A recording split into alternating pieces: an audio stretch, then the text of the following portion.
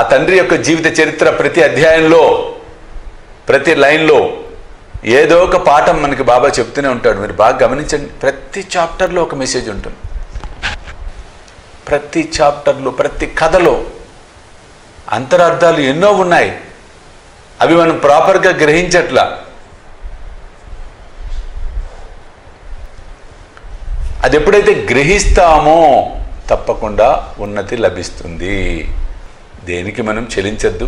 అందుకే పదే పదే నేను చెప్తాను with you without you in spite of you. మనం చెలించేది లేదు వెనకడుగులు వేసేవి ఏం లేవు. ఎందుకు వెనకడుగులు వేయాలి మనం? We should not do like that if nobody is there for example if nobody is there but there is a one person or one thing one energy that is called as God ఎవరు లేరు. కనిపించట్ల కంటికి. కానీ కనిపించకుండా ఉండేవాడు మొత్తం ఆవరించి ఉన్నవాడు ఆయనే దేవుడు. ఆయనే మన గురువు. అది మనం గుర్తుపెట్టుకోవాలి. కనిపించేవి కాదు నమ్మాల్సింది. కనిపించని వాటిని నమ్మాలి. ఆ కనిపించిన దైవమే ప్రతిక్షణం మనని నడిపిస్తుంది అల్టిమేట్గా. అది మనం బాగా గుర్తుపెట్టుకోవాలి.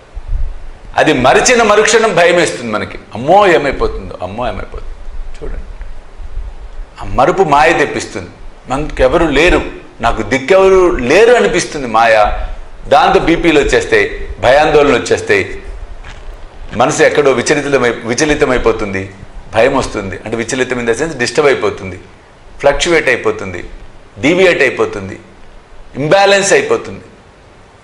ఎప్పుడైతే ఇవన్నీ జరుగుతాయో this things will happen so ఏమవుతుంది? రివర్స్ అయిపోతుంది లైఫ్ అంతా అల్టిమేట్గా. కాబట్టి సాయిబంధువులరా ఒకటి వాస్తవం. ఆత్మస్థైర్యంతో అడుగులు వేయాలి ధైర్యంగా మనం ముందుకు సాగాలి.